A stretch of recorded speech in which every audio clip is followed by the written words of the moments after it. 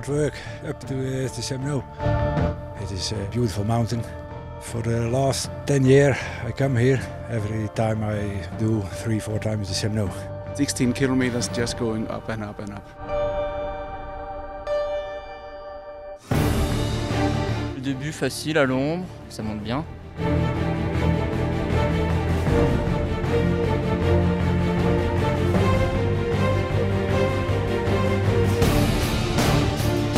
La fin plus raide et puis on commence à voir le soleil, du coup ça commence à chauffer un peu.